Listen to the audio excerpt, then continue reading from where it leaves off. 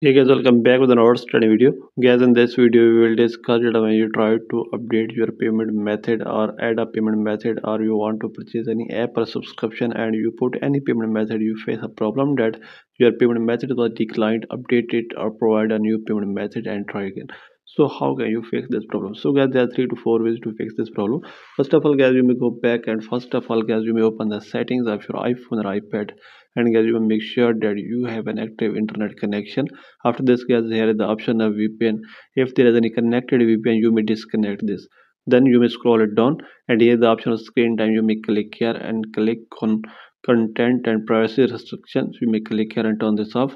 Then you may go back and you may click here on share across devices you may turn this off. After this here is the option of general click. Here click on software update update your iphone or ipad to the latest ios version. After this guys you may scroll it down and here is the option of date and time. Click here and click on set. Automatically turn this on. Then go back and guys click on your apple id name. And here is the option of payment and shipping.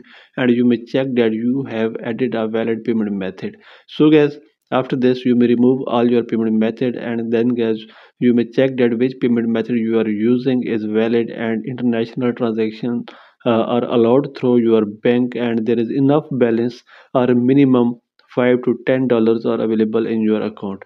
After this guys you may add your payment method and restart your device and check that your problem will be fixed. If your problem is still not fixed then guys you may click on media and purchases and click on view account. And guys you may change your country region to your local country region. And guys you may add your payment method. And guys you may check that your problem will be fixed after changing your country. So let's check guys. So click here on country region. So this interface will be open. Click change country or region. And guys you may select your country so you may select that country where you live. So if you live in usa you may select united states. So after this guys terms and conditions will be open. You may click on agree on top right corner to accept these terms and conditions and guys here you may add your payment method. Then guys your first name last name and your complete billing address. Then click on next and guys you will check that your problem will be fixed. If your problem is still not fixed by all these methods then guys you may go back and you may open any browser and in search bar you may write here support.apple.com and you may uh, select your gadget from here. If you're using iphone you may select iphone then you may scroll down and second last option get support so you may click here or you may download apple support or support app from your app store and contact to apple support team uh, through chat or call in support app easily. So if you don't want to download support app you may click on start now and you may also contact apple support team from here. So click here and click on more and click on app store.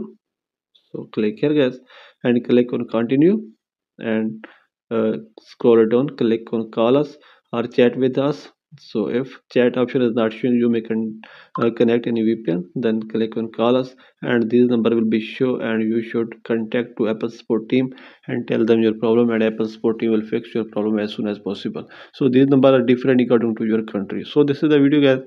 For more videos please subscribe our channel